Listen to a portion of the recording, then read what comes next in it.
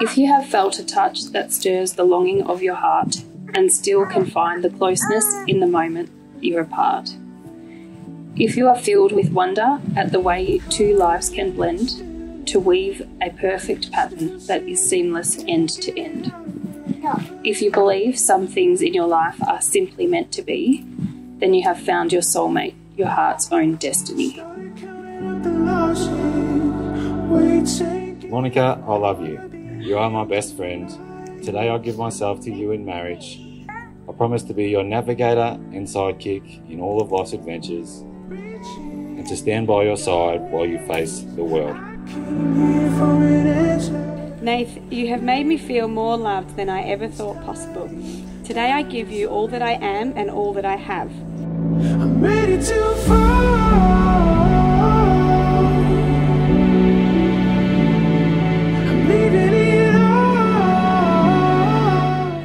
I give you my hand to hold, I give you my heart, my faith, and my life.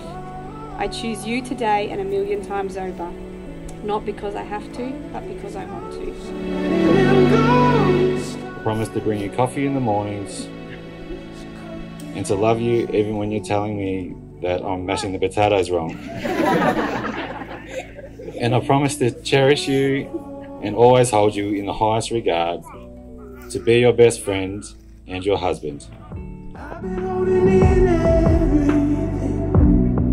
I just wanna say the words out loud. I promise to always make our family's love and happiness my priority. Nath, I'm ever so grateful for your love and selflessness. You are my forever, my best friend, my dream come true, and now my husband. I'm ready to fall.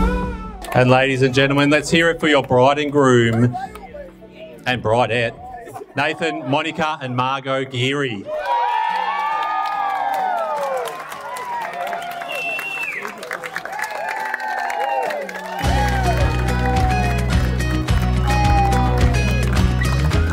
Mon is a chatter and perfect for my son.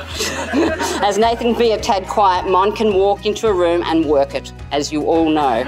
Her laugh is infectious. She is total delight to have around, and God, I love this about her. I love how they balance each other. Mon won us over instantly, even though she hid in the bushes, and we talked about this.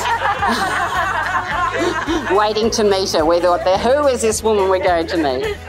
She loves to mother us. Oh my God, she loves to mother us. We love you both and we wish you all the happiness and life can bring. And a huge congratulations to you both. We love you, Mr. and Mrs. Geary. Congratulations.